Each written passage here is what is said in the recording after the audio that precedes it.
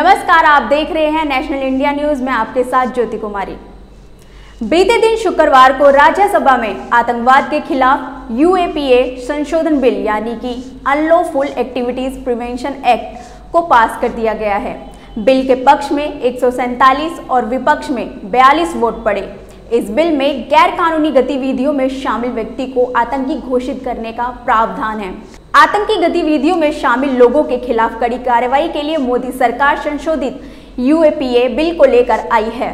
वहीं यूएपीए चर्चा के दौरान कांग्रेस समेत विपक्षी दलों ने विधेयक में संशोधन का विरोध किया था।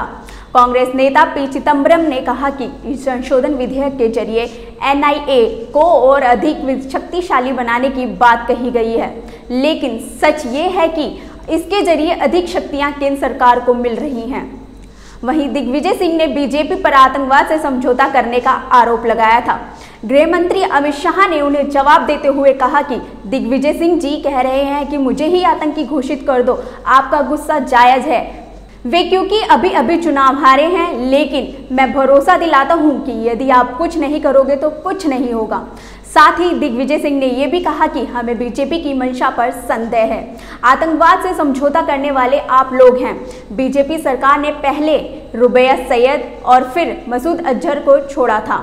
तो वहीं चर्चा को आगे बढ़ाते हुए माकपा के इलामाराम करीम ने कहा, सरकारी आतंकवाद थोपा जा रहा है और असहमति जताने वालों को आतंकवादी घोषित किया जा सकता है।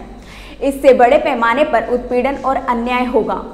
साथ ही उन्होंने ये भी कहा कि इस संशोधन से राष्ट्रीय जाँच एजेंसी एनआईए को किसी भी राज्य सरकार की अनुमति लिए बिना या उसे सूचित किए बिना उस राज्य में जाने तथा किसी व्यक्ति के खिलाफ कार्रवाई करने का खुला लाइसेंस मिल जाएगा। इलामरम ने भाजपा सरकार को सनातन संस्था जैसे कुछ कट्टरपंथी संगठनों के प्रति नर्म रवैया अपनाने का आरोप लगाया। साथ ही उन्होंने कहा कि आप इसे आतंकवादी संगठन के तौर पर सूचीबद्ध क्यों नहीं करते?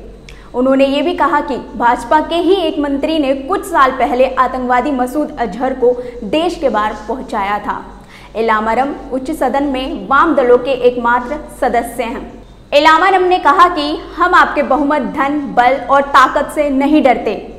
उन्होंने विधेयक को प्रवर समिति में भेजे जाने की मांग करते हुए कहा कि वह इस विधेयक का विरोध करते रहेंगे। तो वहीं दावायर की रिपोर्ट में विल्सन ने कहा कि क्या केंद्र सरकार का अधिकारी किसी भी व्यक्ति को आतंकवादी घोषित कर सकता है? विधेयक में ये नहीं कहा गया है कि केंद्र सरकार का वह अधिकारी कौन होगा जो किसी व्यक्ति को आतंकवादी घोषित करेगा। उसे इतने अधिकार क्यों दिए जा रहे हैं? अधिकारी कोई न्यायिक अधिकारी तो नहीं होगा? साथ ही सवाल ये है कि किसी भी व्यक्ति को आतंकी संदेह में आतंकवादी घोषित करना कितना सही है? सरकार तो सिर्फ़ जनता की सेवक है, मालिक नहीं, लेकिन मोदी सरकार आप लोगों की मालिक बनने की कोशिश कर रही है, जो कि असंवैधानिक है। फ़िलहाल इस खबर में इतना ही। देखते रहिए नेशनल इंडिया न्यूज़।